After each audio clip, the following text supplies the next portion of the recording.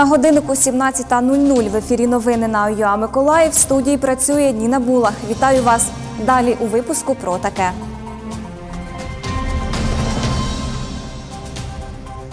В Городищі Дикий сад відбувся рок-фестиваль.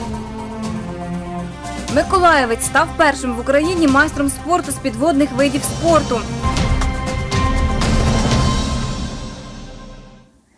Станом на 31 серпня в Миколаївській області виявлено 32 нових випадки COVID-19. Всього зареєстровано 1284 хворих, з них 125 медпрацівники. За добу померла одна людина.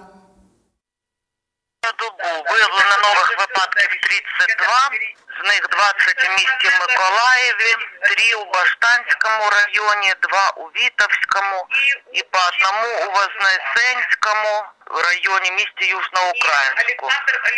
Також виявлено 5 випадків в місті Вознесенську. Одна особа померла в Первомайській центральній районній лікарні. Це чоловік 37-го року народження, зареєстрований у Дніпропетровській області, тимчасово проживав у СМТ Криве Озеро. І одужало три особи. Це всі мешканці міста Миколаєва знаходились на амбулаторному лікуванні. В Миколаївському обласному лабораторному центрі станом на 31 серпня можуть зробити 5 тисяч досліджень методом ПЛР. Про це під час брифінгу в Миколаївській обласній адміністрації розповів Олександр Ігнатенков, керівник штабу з ліквідації наслідків медико-біологічних надзвичайних ситуацій. Питання достатності дуже цікаве. Е, В наявності у нас на сьогоднішній день е, ми можемо провести е, ну, цифра динамічна. На сьогоднішній день ми можемо провести трохи більше п'яти тисяч досліджень. Достатньо це чи ні? На сьогоднішній день це достатньо. Але при такому розвитку підпроцесу може бути недостатньо. Але буквально в цю суботу відбувалася селекторна нарада з е, головним державним санітарним лікарем України, заступником міністром паном Ляшком, е, який запевнив, що в разі необхідності е, необхідна кількість тест-систем буде поставлена як е, по першій же заявці. Люди перестали боятися. Олександр Ігнатенков розповів про причини збільшення темпів захворювання на COVID-19 в Миколаївській області. Коли е, е, відбувся деякий спад, е, верніше не спад, спаду не було як такового, а зменшення темпів приросту, держава віддала процес регулювання заходами на місцевий рівень. Але відбулося так, як відбу... то, що відбулося. Да, я розумію, нам всім набридли ці е, обмежувальні заходи, починаючи від носіння масок, е, закінчуючи е, припиненням діяльності об'єктів е, інфраструктури. Тому було дозволено робити майже все. Але це не було дозволено е, не дотримуватися протиепідемічного режиму.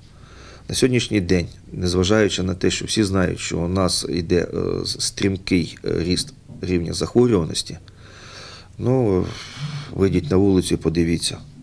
Е, В маршрутках без масок, е, в великих супермаркетах да, вимагають носіння е, масок, але той тої е, не напруги, а Ой, е, люди перестали боятися. Е, Якщо раніше люди заходили в магазин, обробляли дезінфектантами, вдягали рукавички, якщо не було масок, вони брали маску, то на сьогоднішній день цього не відбувається.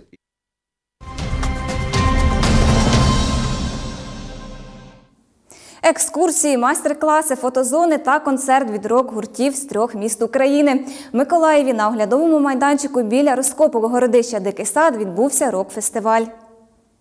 На території розкопок археологи проводять безкоштовні екскурсії. Для дітей підготували археологічні майстер-класи.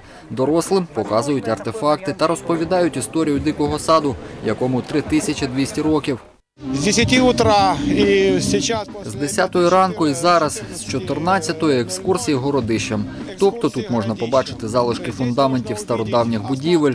Ми зробили декілька інсталяцій з життя стародавніх людей на городищі. Також майстер-класи з археології. Діти зможуть відчути себе археологами і знайти кераміку. А, мені запам'яталось, як я Мені запам'яталось, як я відкопала справжній артефакт. Я відкопала його в землі. Мені дуже сподобалось за допомогою щіточки. На оглядовому майданчику останні хвилини саундчеку. Сьогодні тут гратимуть чотири рок-гурти з Миколаєва, Херсону та Дніпра. Звичайно, ми навіть не вагалися. Ми приїхали з задоволенням. Е, Це дуже круто, що такі е, мероприємства проводяться, бо це для людей, це рідне, це українське.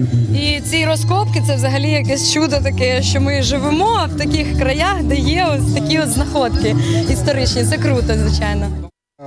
Лучшие группы этих городов. Це кращі гурти цих міст. Ми робимо всеукраїнський фестиваль для того, щоб показати наш Миколаїв, дикий сад, який колись був містом, і поступово ось це дійшло до наших часів.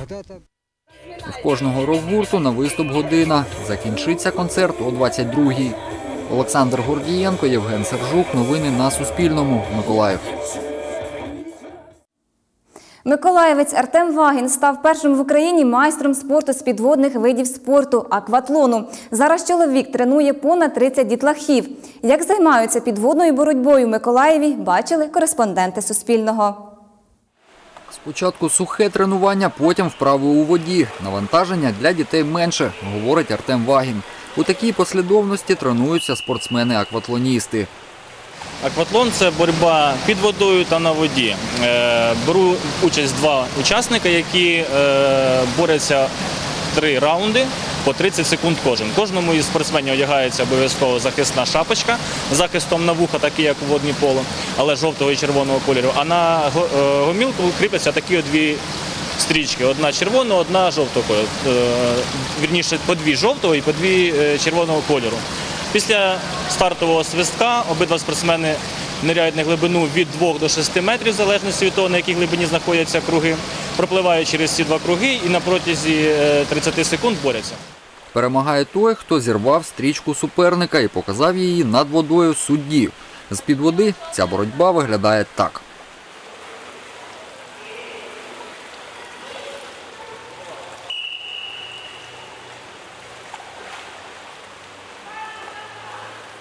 Такі стрічки Артем Вагін зривав суперників на змаганнях різного рівня. Чоловік почав займатися цим видом спорту 5 років тому.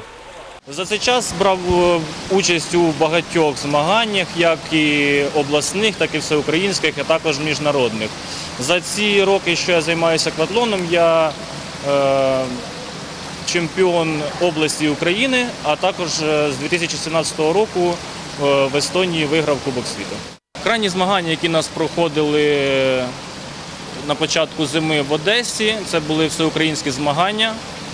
Е, І там серед, е, я вже не пам'ятаю, скільки було учасників, е, у своїй віковій категорії і ваговій я здобув перше місце. Оскільки в мене вже було звання кандидата майстра спорту, ми підготовили пакет документів, відправили на Київ і по результатам цих змагань мені було присвоєно майстра спорту України з підводних видів спорту. На зараз в Україні саме з даного виду спорту це поки що перше єдине звання.